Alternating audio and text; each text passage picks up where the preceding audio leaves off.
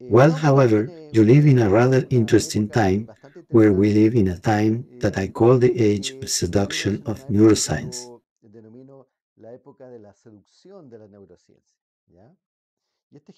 And I took this example of this book called The Science of Learning, which especially deals with a lot of experience and research based on this super big topic that is science of learning.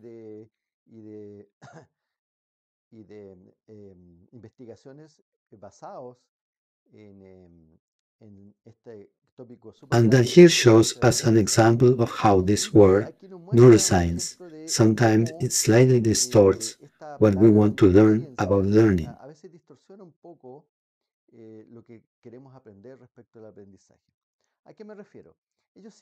They cite a work that is a work done by the researcher Deena Weisberg that appears here, and this is a work from the year 2008.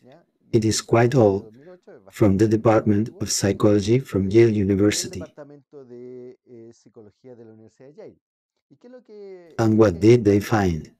That exists a growing tendency in society since the time to want to explain the behavior and the human experience through this research lens of this discipline, very specific, that is called neuroscience.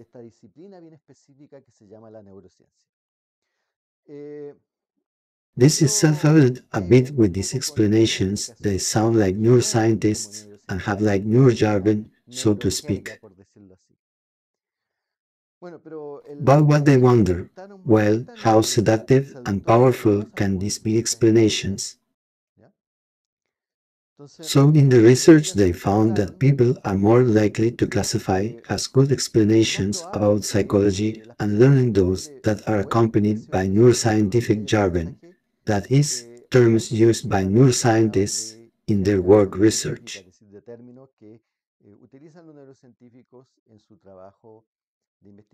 On the other hand, even if the neuroscientific information was false or totally made up, most people thought this information was correct. A little bit of context. This research was done at this university with groups mainly freshmen. And this effect that could be called this of the seduction of neuroscience is more pronounced when the original explanation is considered weak and low level, that is, a totally superficial explanation is strengthened by incorporating scientific jargon.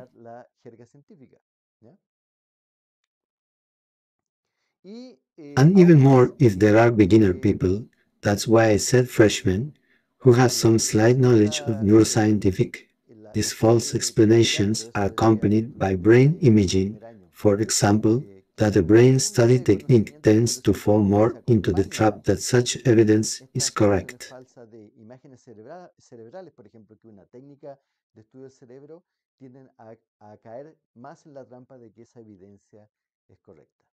And well, and as expected, the only group of people who do not believe these false explanations embellished with neuroscientific jargon are the experts, the people who have experience in the area. And well, that does not create a problem in the current era because it seems that everything that is neuroscience had a certain validity. So this generates what I call the magic of neuroscience today in education, which seems to be everywhere. I know that you have seen in multiple instances of training in books concepts like, for example, there we have neurohappiness, there we have neuroaction, education, neuroscience, neuroethics, neuromusic, neurodidactics, contingent on thinking about those things, especially for this course, neuroscience applied to I don't know what, neuromarketing, for example, neuromarketing and neuroeconomics.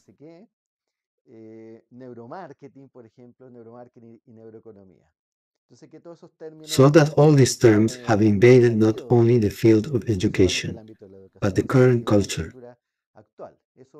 That, as a professional neuroscientist, it never ceases to call my attention how the neuroscience has colonized the field of training from the sale of books.